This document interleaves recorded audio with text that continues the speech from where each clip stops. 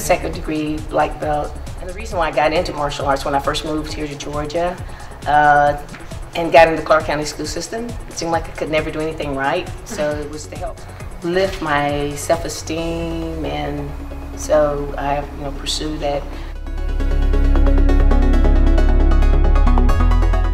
I think it's a great cause and um, it is a way to get involved with that and I'm always wanting to help her out with anything that she needs.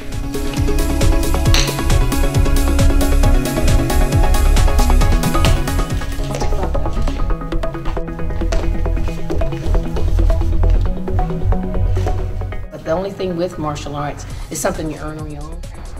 Nobody can take it from you. You know, you do other type of group sports, but this is something that you have to work for. You know, your own self. It's an individual sport.